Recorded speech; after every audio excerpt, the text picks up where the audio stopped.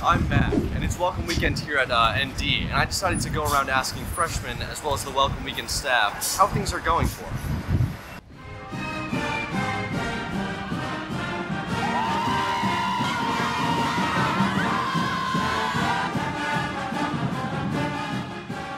I'm with Audrey, uh, an incoming freshman on campus. Uh, what dorm did you move into today, Audrey? Welsh Family Hall. Sorin Hall. I'm in Stanford Hall. I'm in Lewis. Stanford. Lyons Hall. I just got out of it. I moved into Morrissey today.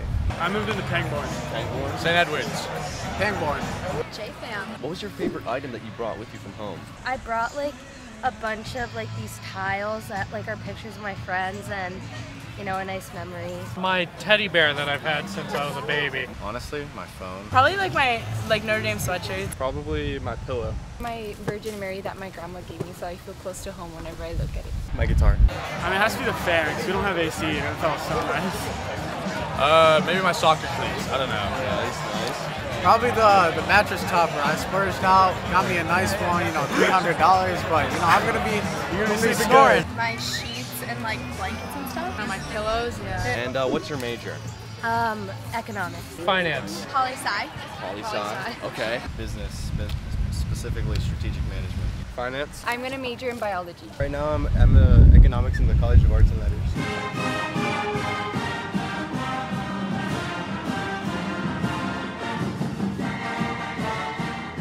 I'm with some of the Welcome Weekend crew from Bonner Hall. Can you tell us why Bonner Hall is the best hall? We have the absolute best brotherhood on campus. Sir, always there for our brothers, and we will be for life.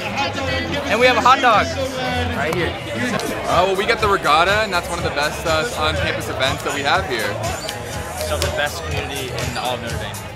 Yeah, we're also a lot smaller, which puts us at a disadvantage in some areas. But as a whole, it's it's the best I could have. Great community, great location right next to South. I'm with Welcome Weekend crew from uh, Dillon Hall. Uh, do you have any tips and tricks for freshmen this year who are moving in right now? Uh, definitely be yourself. We're all pretty nice guys, I think, and uh, we're just here to have fun and uh, yeah, do your thing. Yeah. I'd say take advantage of every opportunity you can. I mean, this welcome weekend is going to be as fun as you make it, so just try to do everything and see how it goes. Make sure to really get to know your roommate and the people on your hall. That's going to be your community for the rest of the year.